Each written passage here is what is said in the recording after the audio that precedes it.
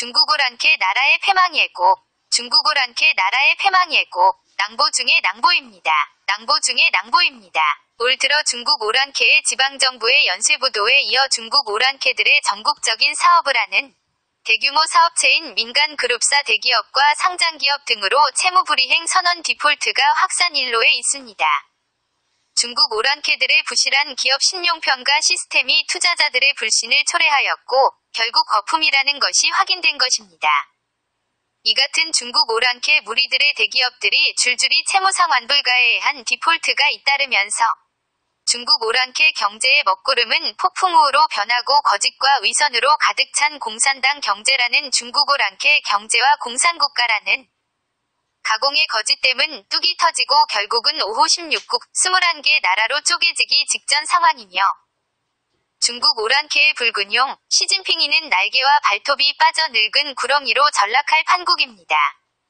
21일 홍콩 사우스 차이나 모닝포스트 보도에는 중국 최대 민영 에너지 기업인 화신 에너지공사 CEFC 자회사인 상하이 화신국제가 전날 디폴트 상태에 빠졌다고 보도했습니다. 과거 같으면 이런 악재는 중국 공산당이 보도 통제로 충분히 막을 수도 있었을 텐데 이빨 빠지고 발톱 빠진 중국 오랑캐 공산당은 더 이상 파산 기업을 인수해서 국영 기업으로 전환, 부채를 보전할 능력이 없나 봅니다. 이 회사는 전날인 2018년 8월 20일 만기가 돌아온 약 3,440억 원 규모의 기업어음, CP위 원금과 이자를 상환하지 못했답니다. 작년까지는 주로 지방정부 산하기업에 집중됐던 디폴트는 2018년 이 들어서면서 민간 대규모 기업과 상장기업으로 번지고 있답니다. 2018년 상반기 중국 기업이 갚지 못한 공모채권은 이미 우리 돈으로 2조 7천억 원 규모이며 디폴트 규모가 사상 최대였던 2016년 위 약 3조 4천억 원의 80% 수준에 육박했다고 블룸버그 통신이 전했습니다. 2018년 7월에도 상장사인 융타이 에너지가 약 1조 9천억 원 규모의 디폴트로 시장에 큰 충격을 줬는데 이번 달 들어 소소한 디폴트는 차고 넘치고 단일 사례로는 가장 큰 규모인 약 3,440억 원의 화신 에너지공사 CEFC 디폴트 사태가 터졌습니다. 상장사인 화신에너지공사의 총부채는 722억 위안, 약 12조 원에 달해 디폴트 규모가 앞으로 점점 더 커질 것으로 보입니다. 중국 오랑캐들의 금융시장의 불안은 중국 오랑캐 기업의 신용평가 시스템이 돈만 주면 좋은 평가를 받는 상황이다 보니 그래서 중국 오랑캐 집단에게는 사실상의 공정평가 시스템이 존재하지도 않는 상황입니다. 이런 부실평가 시스템 때문이며 우량 등급 평가를 받은 기업마저 언제든 자금난을 노출하고 순식간에 부도를 낼지 모른다는 것이 이미 노출된 상황입니다. 중국 오랑캐 집단은 무디스, S&P, 피치 등 국제 신용평가사의 시장 진입을 근본적으로 막고 검증되지도 공증되지도 않은 주먹구구식 국내 신용평가 시장을 지배하고 있기 때문입니다.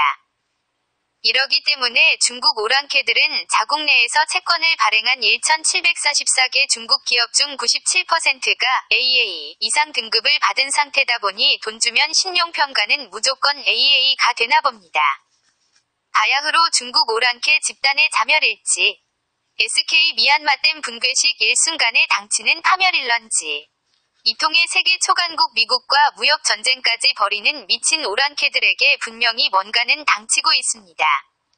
머지않아 중국 오랑캐, 중공 공산당 파멸로 중국 공산당이 강제로 힘으로 병합해서 강제로 영토를 늘려 점거 중인 타국의 땅, 티벳, 신장 위구르, 만주, 내몽고, 꽝tung, 닝샤 등 5호 16국으로 분리 독립할 것이고 이참에 우리는 조선 왕조 때까지도 우리의 땅이었던 동북 삼성 내에 위치한 북간도, 동간도, 서간도라는 역사적으로도 확실한 우리 땅 간도 땅을 찾을 기회가 반드시 올 것은 점점 더 명약관화해 지고 있지를 않습니까?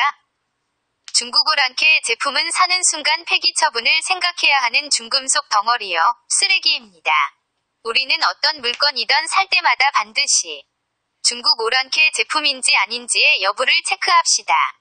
유사일의 993번이나 우리 민족 한반도를 침략한 악마 집단 중국 오랑캐 족속. 공해공업단지 전체를 한반도 맞은편 중국 오랑캐의 동부 해안에 옮겨 환경오염, 해양오염, 물고기 오염, 생태 파괴로 질병과 미세먼지로 마스크 쓰는 오염 시대를 만드너 환경재앙의 악마를 선물한 악마 집단 중국 오랑캐. 우리는 무조건 오랑캐 제품 불매 운동을 해야만 합니다.